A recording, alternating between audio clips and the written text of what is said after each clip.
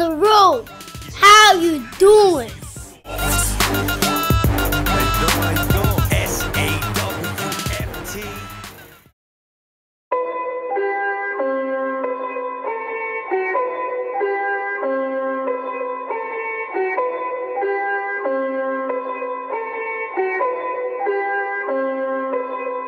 Perfect. Who better than Derek, Pat, Andrew, the wrestling crew?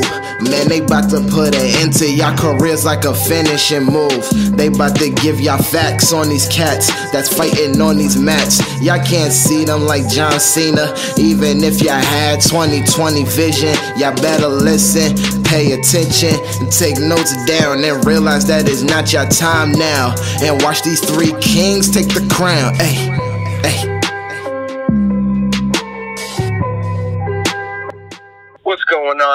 On? This is Sean Maluta, the king of the Savate kick, and you're listening to Wrestling IQ 101. Hey guys, welcome back to another edition of Wrestling IQ 101.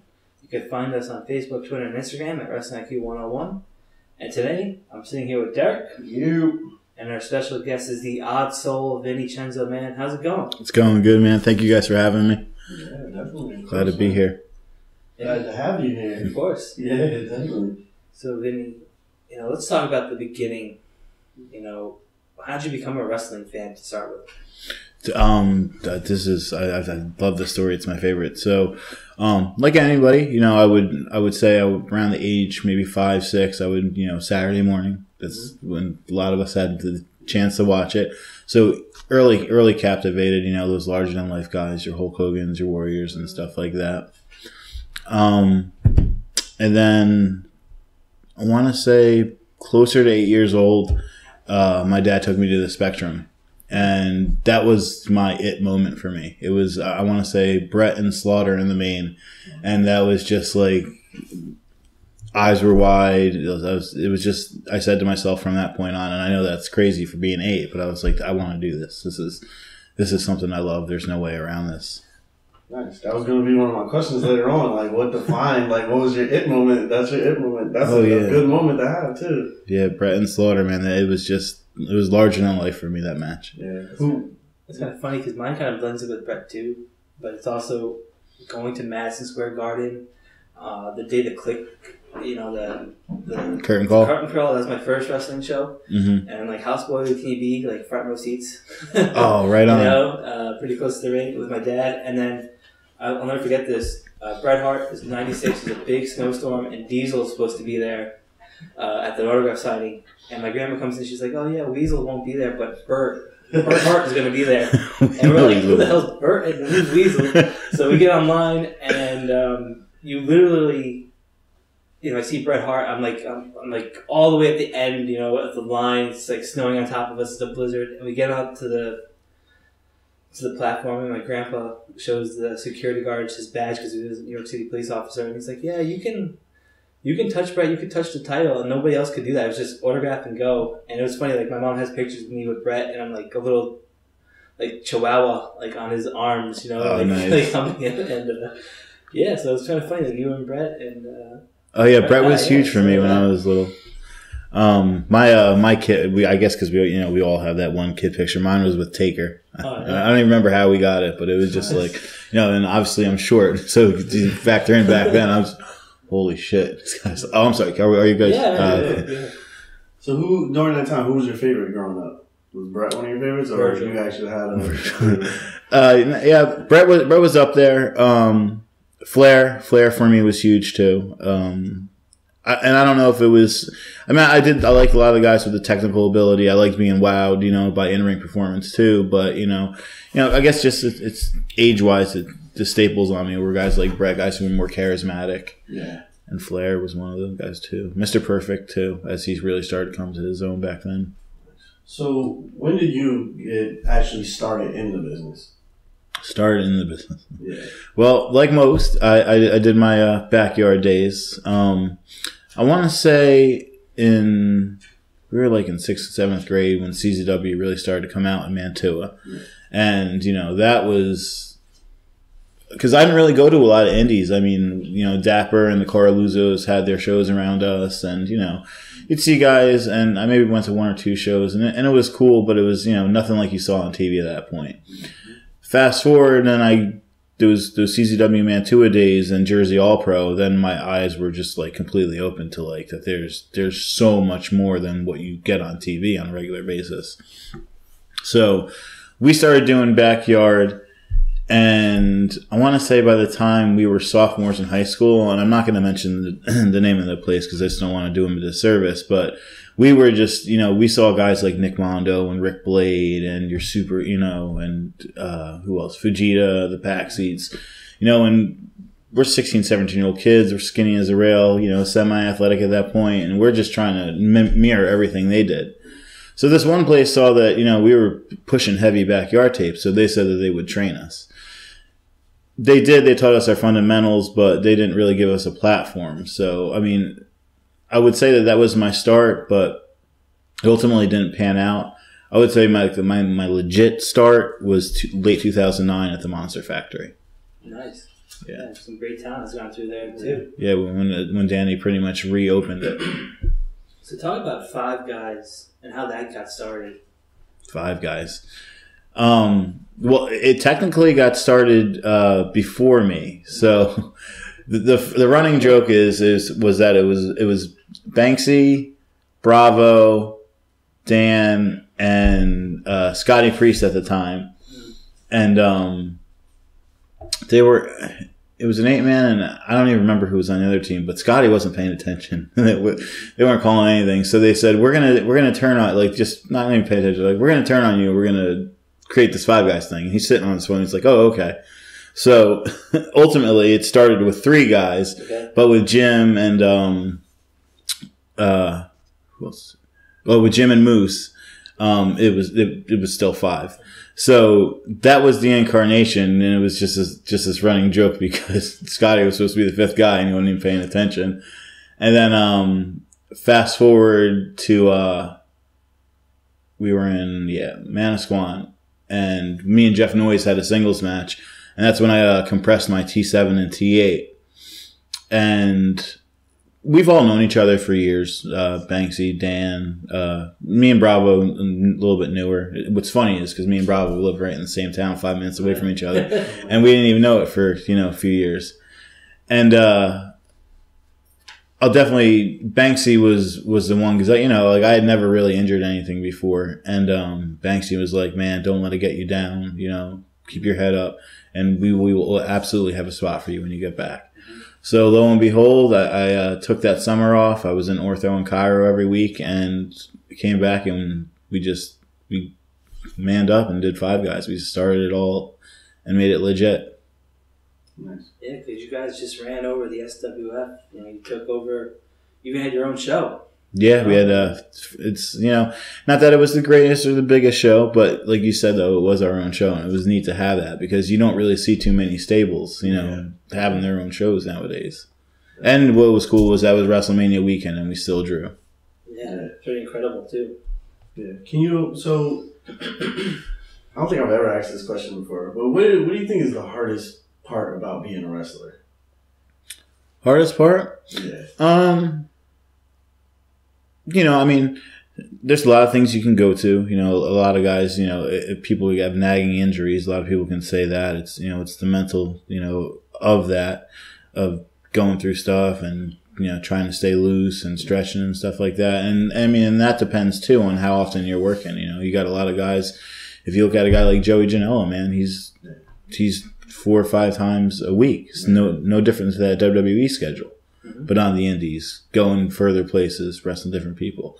But you know, I, I, would say personally for me, you know, and and where my involvement is at, and my level where I am right now, and you know, doing some more a lot of behind the scenes stuff with SWF as well. Uh, it's it's just that mental, you know, it's staying focused. That, That's that's the hardest part is, you know, and being in this many years later, it's just, you know, staying focused and staying refreshed and being happy with what you're putting out. So, you know, talk about your relationship with Rob Fury. you know, if there is one. oh, absolutely. Um, Uh, some promoters just you know you, you work for them and that's it. You know, at the end of the day. But if you have Yeah, Rob's a different story. Um, I make no bones about it. You know, uh, Rob obviously is a guy who, you know, there's people that love him and there's people that want to see him fail miserably. You know, you've seen these BWEs and you've seen a lot of people.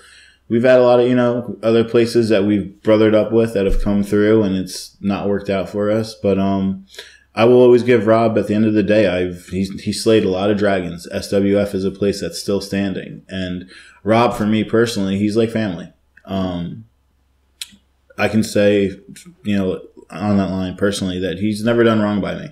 He's given me a lot of opportunities. I've in Rob's rings, I've faced a lot of guys. There are a lot of people who give a limb. You know, Haku, one of them. Mm-hmm. Not that I'm trying to name drop, but you know, there's there's times where it's like, you know, you, hey, we're we're going with this, and I'm like, do I deserve that? Am I ready for that? You know, and for him to have that faith in me, you know, that pushes me, like I said, and stay focused. Is my stuff refreshed? Am I ready to go out there, you know, and do what I have to do?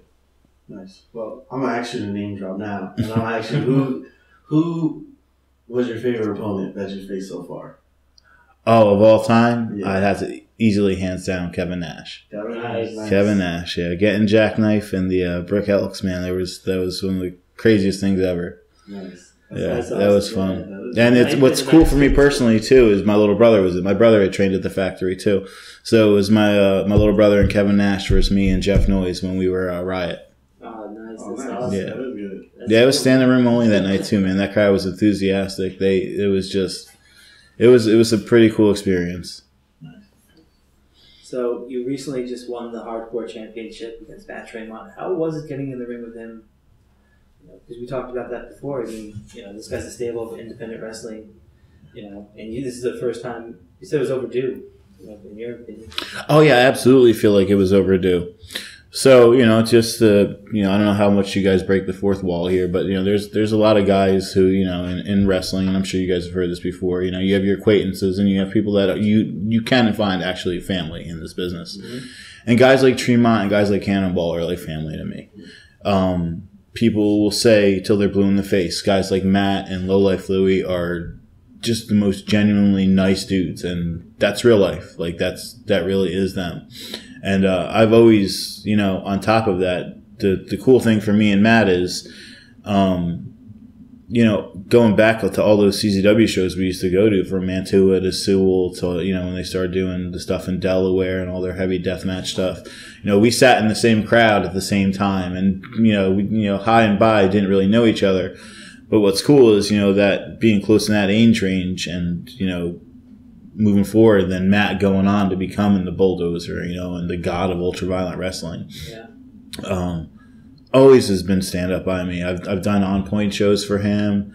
Uh, I just, you know, it's not to sound marky, but he's a guy like, he's he's not just limited to that deathmatch stuff either. That guy can go. Um, I know Matt since his New Moon Rising days when we uh, started the factory and we were kind of like brother sister promotion.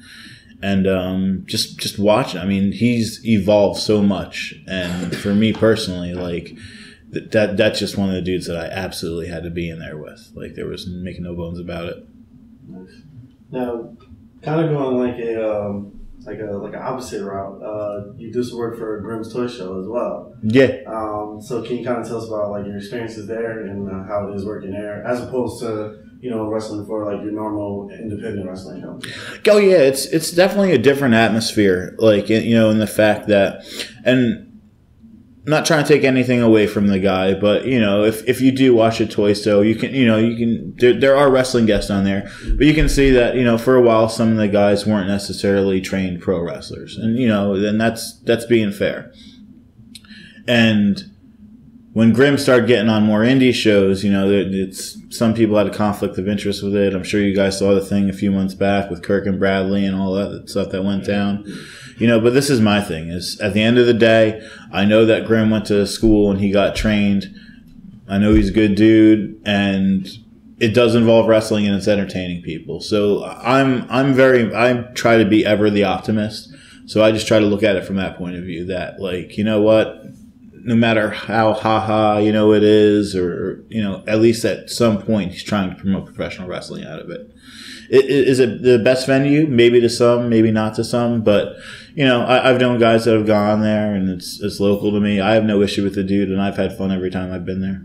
You know, they have a huge fan base too. Yeah, it's it's crazy. Yeah, I mean, my, I used to hate Twitter. Absolutely couldn't stand it. I'm a Facebook and Instagram guy.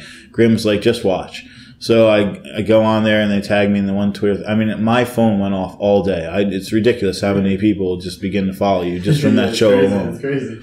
Yeah, I had this one, and I'm like, and I'm a single dad, right? So I had this one kid, you know, of course, you know, like they're fans, so they got to heckle you.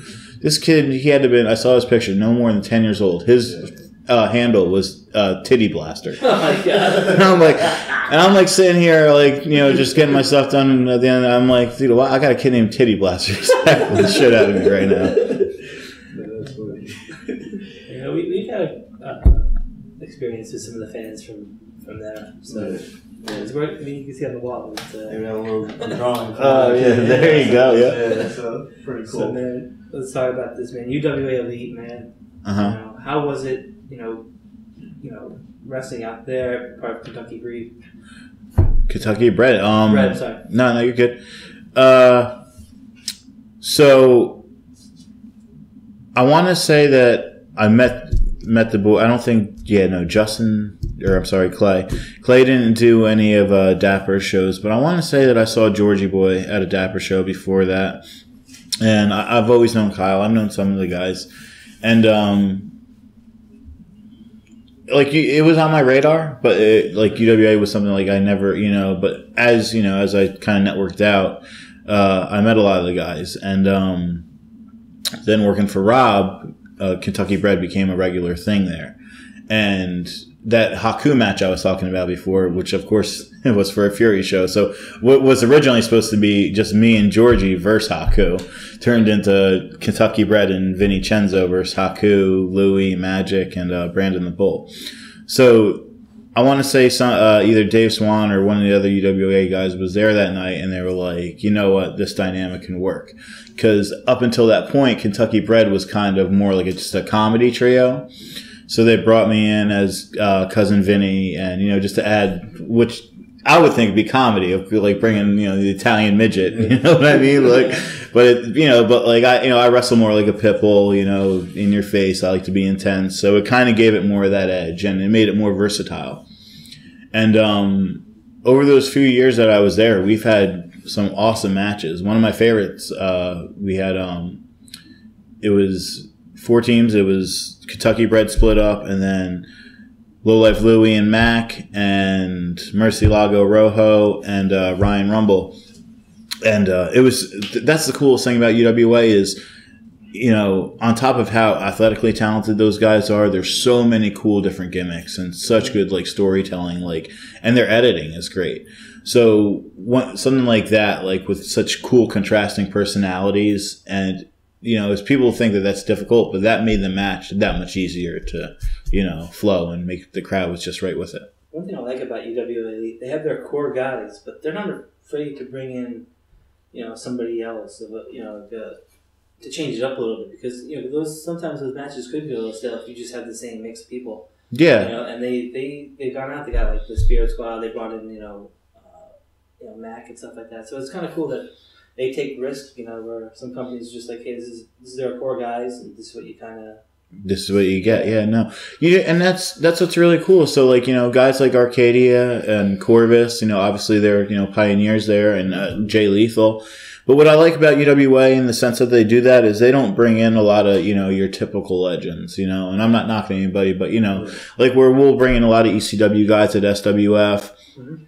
And we'll bring in, you know, Tito and, you know, some bigger drawer names, like when we had Kali and stuff. UWA brings in different ones, unique. Like if you watch like uh, UWA Elite versus the World, how they brought in like just a very random selection of indie superstars to take on UWA, like whether it's Macintosh or Sozio or uh, Gacy was one of them one time. Like they're smart about it. They do, you know, they have a they do it really well. Yeah, they have they have a pretty solid fan base as well. Yeah, Like uh, everybody, you can tell it's like whenever we go, we always see like the same people that are there. They're like very loyal to them as well, Mm-hmm. and they, they put on some like good stories as well. That you you always remember like oh last time when I was here last month, I remember these guys had this story building. They they keep you going and wondering what's coming next. Oh month. yeah, they're really good with that consistency, and that's I, I for me, if I was a fan, I'd appreciate that. Definitely. I'm kind of mad they took a month off. Yeah, they usually do that for December. Yeah. so, you know, you got in the ring with TJ Marconi, you know, you you won the championship, now you lost it, man. How how was wrestling a guy like him and, and how was it winning the championship? Um, but trying to think of the best way to put this. Satisfying is, is, is a way to describe it, but um, I mean, I, I would just say elated, happy. Like you know, one of the, one of the biggest things about SWF, and like I, you know, I always will revert back to that because that's home base for me. And uh, you know, we didn't really have, you know, we, we've had awesome heavyweight champs before, but you know, we never really had like a solid program. You know, SWF didn't have that. We had a lot of one offs and we had maybe guys have like, you know, a series of two, but nothing that ever really lasted. So the, the thing that made me so happy about the feud with TJ was it was something that started prior and it ran off of five guys heat. So when, when TJ was the original champion and then when we did the cash in and, you know, being a smaller guy like I am, um, I, I thrive. My, one of my favorite dynamics of a match is that David and Goliath thing. Um, I love that. I love being that little shithead with a Napoleon complex that I don't care how big you are, I'm going to do whatever it takes, whether I lie, cheat, steal, like Guerrero would have.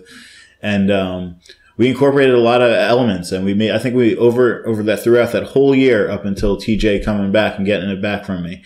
Um, we gave the fans, I, I personally feel like we gave them a lot of cool moments, including five guys and a lot of stuff with me and TJ one on one of him, you know, finally chasing a guy that he can, you know, in real life could probably stomp out, you know? Yeah, like really compelling storytelling to you guys. So definitely. How do, how does that feel when like you know like like Rob Fury puts you know his faith in you to make you you know his heavyweight champion and basically like puts the company on your back. Basically, you're fa- you're like the face of the company when you know something like that happens. It's, and it's, it's honestly, it's not one of those things where, you know, you want to toot your own horn, but, you know, it's, it's one of those things where it's, you, you want to give it to a person who gets it, Yeah. who's definitely paid their dues and, um, you know, who, who wants to see the, the brand succeed. And, and I can say that about both TJ and myself is we, you know, we want to see SWF succeed. Yeah. You know, like I said, given the past and given a lot of the, uh, you know, the hate that we've gotten, uh, these these past two years, we have turned this boat around a lot, and we've reached a lot of people. You know, we and one of the biggest things that stands out to me is um, where we were trying to kind of steer clear of North Jersey a little bit. We started going to Totowa, and uh, we have this huge rambunctious crowd from Totowa now that even follows us all the way down to Ocean County or or to your you know your middle of the state shows that we're doing. So who's giving you the best advice in wrestling so far? The best advice in wrestling. That's a that's a very good question. Um, I would definitely say there, there's a few people if I'm if you guys if I may. Um, so on top of training, absolutely underneath Danny Cage. Danny Cage was our guide. Um, I can't think of a, a greater. And it's what's funny is uh, he didn't really have necessarily the longest indie career, but this dude just gets it, gets it top to bottom. He can explain A through Z, who, what, where, when, why, how of you know why things work and why things don't. Uh, I used to butt heads with Danny a lot, and more often than not, he was right and I was wrong. But it's one of those things where he always looked out for his boys, and he always treated us like his boys. You know, so there. Were, I mean, on top of just in ring things, Danny always, you know, there was a lot of life lessons that he taught us too. You know, because that's the, I believe what separates the Monster Factory from other places is that Monster Factory wants to build you for a career in professional wrestling, not for a hobby. You know, in a lot of these other schools, you know, you notice now that, you know, they waive mat fees. They don't care. They have guys just come train for the hell of it, do whatever you want. Hey, and hey, good luck on shows. You know, and that's, that's cool, but that's, that's like a, a big problem with Jersey right now is the oversaturation of people doing that. is that you know we're in the 80s you know that that didn't work you know you earned your spot you didn't just oh hey i can come here and play wrestler but um yeah danny uh bilvis wesley uh, wild bill wiles was uh, another trainer who I had a lot of hands-on experience with and um, helped me out a lot but uh, a key guy and he wasn't uh, necessarily i mean he would be a guest you know instructor at the factory but i, I worked with him a lot through there and through fwf was uh, pitbull gary wolfe um, idol of mine. Um, me, me and Jeff Noyes when we did Riot, you know, we tag team wrestling has been my thing for a long time. So like singles is still kind of weird to me. I mean, I love doing it, but uh, like I just I, I tag team wrestling is what captivates me 110. percent And um, the Pitbulls of ECW were just like, you know, they were just this like so exciting, like bell to bell, Yeah. E- everything they did. And um, I've wrestled Gary. I can't tell you how many times on a team, singles against each other, six mans, and uh, it always just got better. And like Gary always, like before anybody else, not to sound selfish, but he he took a liking to me. He would take me to the side, and you know, this is what we can do better. This is where we totally killed it with. You know, Nice. And you took you kind of, you took on part of that name, right? And for a while you were called the I was the punk rock Pitbull, right? Yeah, yeah. That's dope. So Thanks. um, kind of like switching gears a little bit. Uh, I see you have like a lot of cool tattoos going on. oh yeah, I got a lot of Yeah, random. yeah. One ones. that like sticks out to me is I believe that's Krumm from Krumm, yep. Monsters. Yeah. I Oh, remember yeah. Do you, Yeah. Can you kind of like tell us like the meaning of some of the, the your tattoos? Oh, absolutely. Um, uh, we'll start with the arms. I got, I got so many. Uh, this is Thrice. That's uh, one of my favorite bands. Um, they got me through a lot of hard times. Yeah. Like I said, I, I have no problem. Um, you know, I'm an open book. Uh, in between those years when I first started wrestling, you know, under that, who's, I'm not going to mention their name, but before I, I went out to Oklahoma and I, uh, I had a, bad pill problem. So when I was graduating high school after my uh, grandpa died, um, I just I, I didn't know what to do with myself, and I just got really bad into pills. And I went out to Oklahoma to clean up, and Thrice is one of the bands, man. Just like I, I'm as much as I'm into wrestling, I'm into music. I'm Yeah. a music slut. Uh, and Thrice has just such positive, reflective, just very real music. I mean, lyrics to instrument that uh, speaks to me. That's uh, my pet monster. I don't know, like so. Where most kids probably just had a teddy bear, I had a my pet monster. um, obviously, Krumm, because just why the hell not? Yeah, right. Because I got a kick out of that show. Um, I am a man of faith. Um, so uh, I come from a Christian background, and I, you know, I do believe in God. God helped me a lot with you know my recovery process and stuff like that. This one here is my family crest. And uh, when you walk on the inside of like a castle, and I think of like you know a crest that hangs up in a castle, you know you do the marble floor. yeah. Um, this guy here, I actually drew myself. Yeah, I'm a little bit of an art geek. Uh, I, you know, it's not everyone goes, "Oh, you're Illuminati." And I'm like, Yeah. I'm, I'm like, dude, no, man. I'm like, the way it works is, I believe, I believe you're your own all-seeing eye. Yeah. You're your own truth. You know, and some days you have your bad, stormy days, and then some days you have your good, shiny days. And uh, you know, music is what gets me in between them. Pretty sick. Nice. And the last one you guys probably see. This is from my pops. Um, you guys ever see that show called Turtle Man? No, crazy hillbilly dude. He and like no teeth. He's got a crazy bowl haircut, and he just goes out in swamps and marshes and pulls out uh, snapping turtles. Oh yeah. And he goes live action and does this. Well, my dad is not a man of emotion. He's he's a muscle bound meatball. He's a, a pro bodybuilder, and uh, I he doesn't laugh, doesn't cry. He puts this show on, and he starts cracking the fuck up. Oh my goodness. so, so all me and my siblings, we all got live action tattoos from my dad. oh, pretty sick. Yeah. Pretty sick. Is it safe to say you're a One Direction fan? Oh God, no. No. I'm not a One Direction guy. what kind of music do you listen to? Me, um, yeah, like I said, man, I go from anything to everything. Um, a lot of jam bands and a lot of new age stuff. Like I like Mute Math, and then in the same breath, I can go and I can I can put on 50. I can put on G Unit. Oh, nice. I can swing back to old school OutKast, Southern playlist of Cadillac music.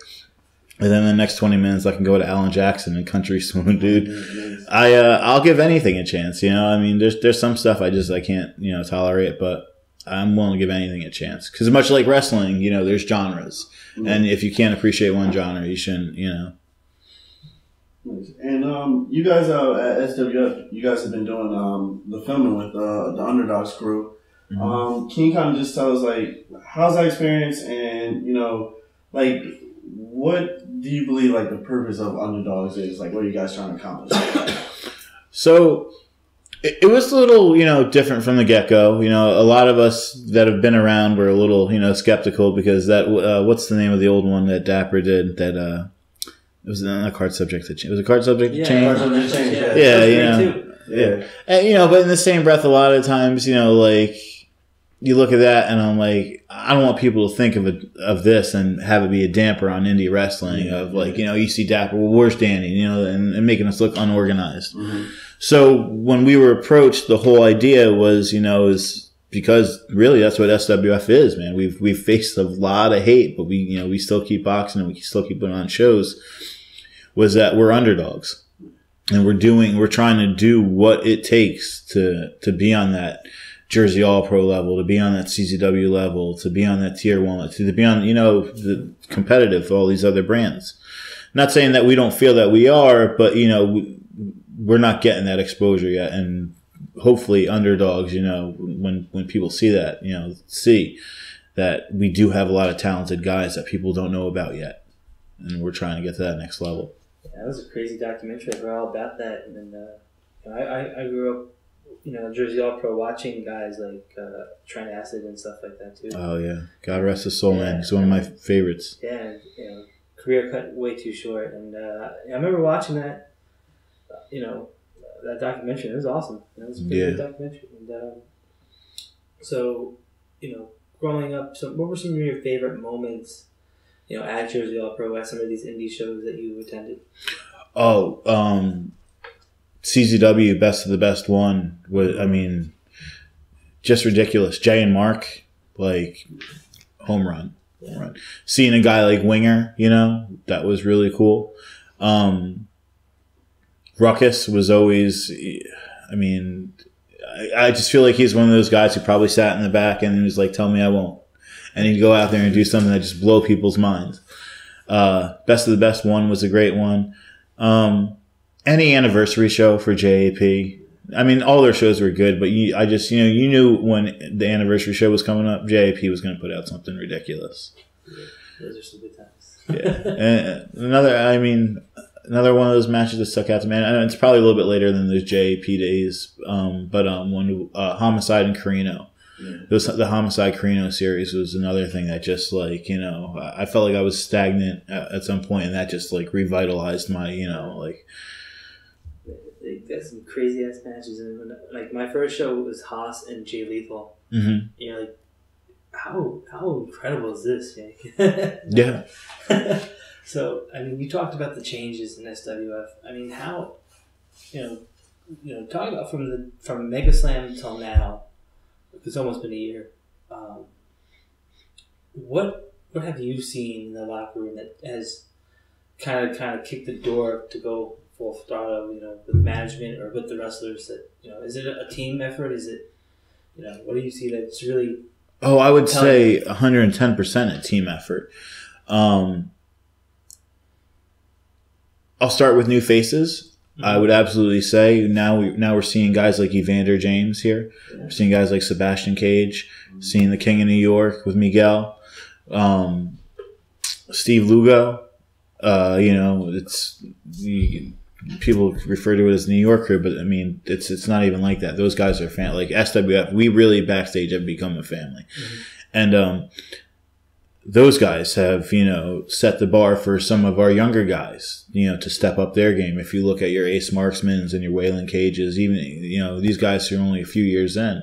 You know, being you know it's it's that healthy competition breeds you know energy out of you and and to up their game and then a lot of it's you know dudes just evolving i mean if you if you start like you said at mega slam at the beginning of the year look how far jordan oliver jr and kid christian have come. Yeah. Um, one of my one of my absolute favorites and standouts this year was uh, jordan and shane strickland. I Yeah. believe it was, it was i think it was our february show in bayville. Yeah. And uh, no love lost. And um, I've had faith in Jordan since day one. I, I still remember Christian. I believe we were in Spotswood for his first match before he was the Sugar Rush Kid or any of that, and uh, it just amazes me. Like those those two guys. I, I just hope they you know stay free of injury. But um, you know they've developed a fan base, and you know it's like anything. You know it's drawing people from other places to see what we're doing. Yeah. Now, when we, we talked to uh, Rob uh, like last week or a couple weeks ago, um, he told us uh, he was going to add more shows like upcoming. So, uh, like, how do you feel about like that? Him adding more shows and like him basically he's he's having like a lot of faith in you guys, and he's also putting faith into himself because he's like he knows like we can do this, and we're adding more shows. And he's hoping to like you know just accomplish a lot this upcoming year. Oh yeah, it's an absolute. It's absolutely a. Uh, it's a total positive feeling, you know, when when he does that and, and you have faith, you know, and in the same breath, not you know, not just to sound prideful, but like show me another indie right now, you know, that's that I think it's thirty something shows we did, thirty plus, maybe thirty plus shows. I don't remember the exact number offhand, but I I don't know a lot of other indies in New Jersey that did that this year, and. uh put out quality. You know, I mean, not every show is gonna you know draw a thousand people, but you know we've given people a lot of quality throughout all the shows that we've done, um, and it's excitement too. You know, it's it's more opportunities, and you know, getting outside of just the SWF box. You know, I always want to see pro wrestling succeed. I want to, you know, especially in a day and age where boxing's kind of starting to make its comeback now and MMA kind of, you know, has the reign on things. Like, I want pro wrestling still to be that top tier thing Yeah. that people look to and know that it's going to be universal. Yeah. So, more opportunities present that. So you had a champion first champion match. Uh, how was that getting there with you know Joe Gacy? Oh, uh, thrilling. Um, absolutely. That was awesome. Uh, yeah, awesome.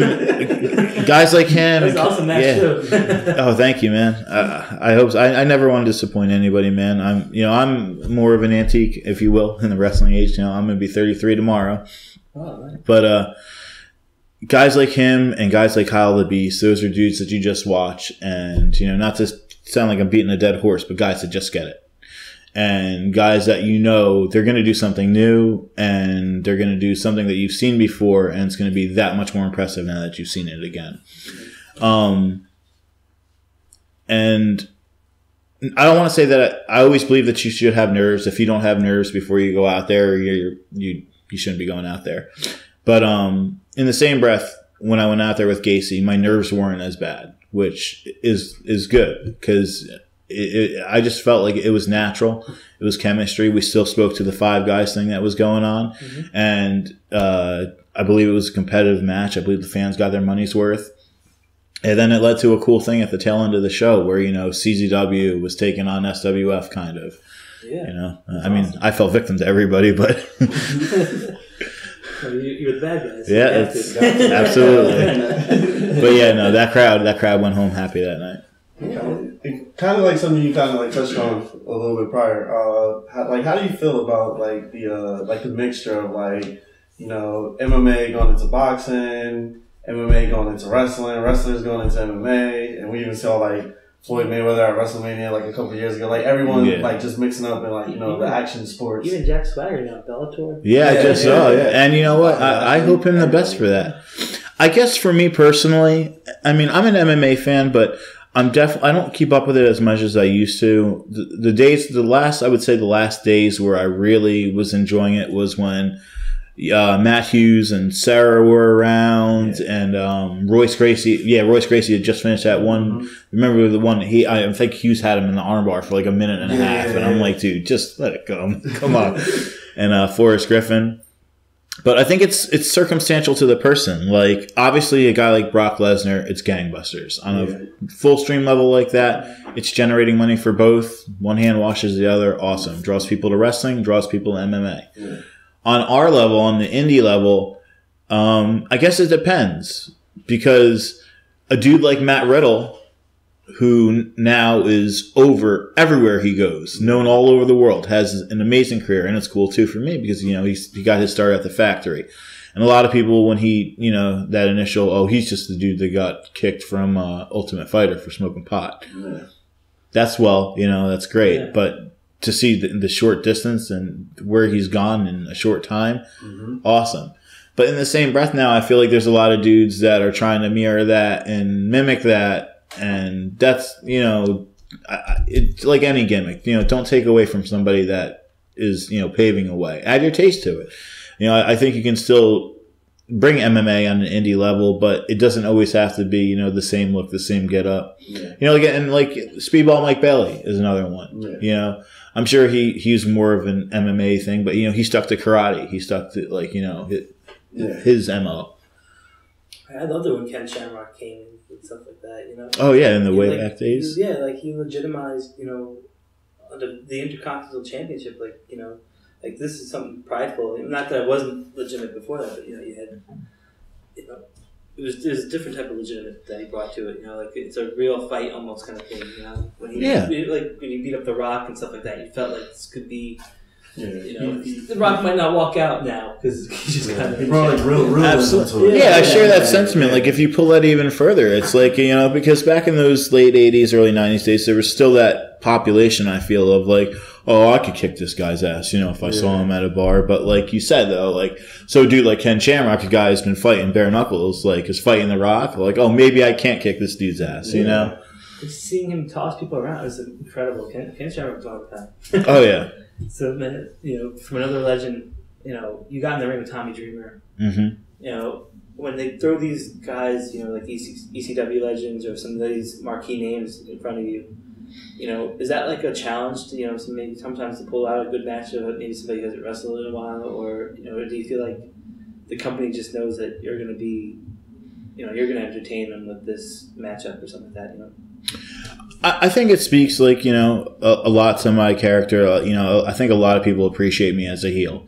So you know, a, a lot of the dynamic when I have worked names over the you know is is been you know Vinny's going in as a heel, and a lot of time, especially with a guy like Dreamer, it, it just feels natural. You know, like you know, I I you know I, I've always felt it took me a little bit while. You know, I would say a few years in after the factory to really find my niche, but um when I go out there with guys like that now, and, and especially if I'm heel, like I, I know that I can do it as a face too, but like th- that match we had with him, and it was me and Bravo versus Marconi. I mean, it was just it was gangbusters. Like I mean, it was just an easy night. You know, not that we weren't going out there and taking it easy, but like you know, he he's been around here for so long, and he's filled with so much wisdom that you know you don't have to go out there and break your neck. There's things that we're gonna do that you know with this crowd, it's gonna be easy.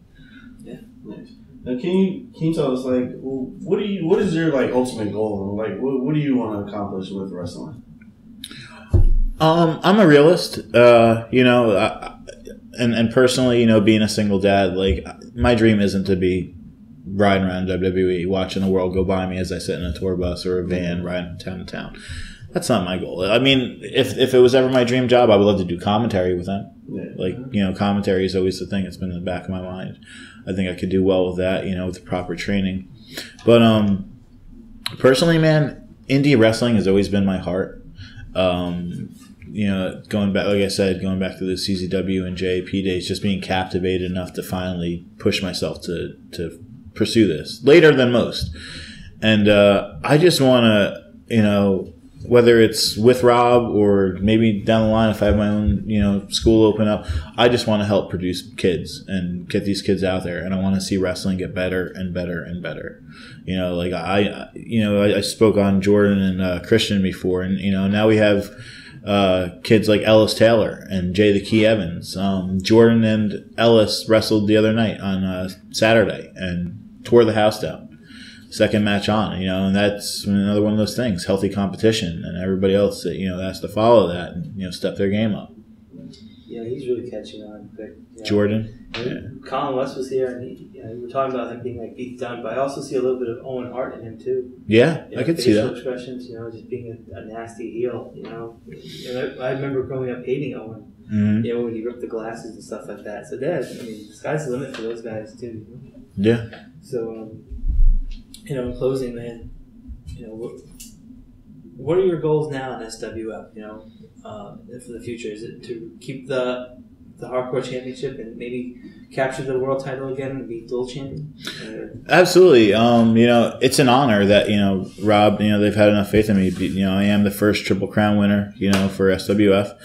Um, I've never really gone down. I mean, I've done stuff in back here, not that that counts, but, you know, I, you know, I'm not a stranger to it, but at this level, like, you know, it's fun doing hardcore. Like, I, I want, I'm ready to see where this goes. Um, full level, absolutely. I would love to be back in the chase, you know, for, for the world heavyweight title or maybe a five guys reunion. you, you never know. Um, I personally, I just want to have fun and I want to see the brand grow. Nice. Now that's my last question. Uh, when it's all said and done, what does Vincenzo want to be remembered for? Scaling back to um, that Bret and Slaughter thing, I just remember the way that I felt as an eight year old. Um, and what that did for me. You know, like, you know, some folks, I mean, I, I played sports and stuff, you know, but we all have that one thing we gravitate towards that's larger than life to you. That no matter what, at the end, you know, you see these in memes and you see it, but, you know, at the end of the day, you just, it's a, something that just speaks to you. And you can put that on and everything else kind of tunes out. And wrestling is that love for me. So I want to be that person that delivers that same feeling that I felt that Bret and Slaughter gave me that night. For wh- whether you're eight or whether you're a dude who's in the middle of his work week who just needs to go get his frustrations out and go watch pro wrestling, I just want to make sure I'm captivating people's interest and making sure that they feel that their money is well spent. Where can people find you on social media if they want to connect with you? In the desert. um, uh, let me just yeah um, you can find me on instagram. I believe it is oddsoul underscore vincenzo. I should know these offhand. I've noticed a lot of people have changed it to match like everything. yeah that's it's, you got to make it universal. Yeah so on on instagram it's oddsoul underscore vincenzo on twitter it's just Odd Soul chenzo and on facebook it's uh, just vincenzo Nice. Awesome. Well, we definitely we thank you for coming through. Nah, man thank you guys i had a blast Yeah, thank man, you We definitely appreciate you coming on. Uh, for us, we're Wrestling IQ 101. You can find us on Facebook, Instagram, Twitter, at Wrestling IQ 101. Check out our videos, youtube.com backslash Wrestling IQ 101. Subscribe. Make sure you subscribe, like, share. Uh, definitely check us out on B Plus Player Radio Network. Uh, you can listen to us on iTunes, Google Play, all that good stuff. Make sure you subscribe, subscribe, subscribe. Yeah, definitely. And we are out.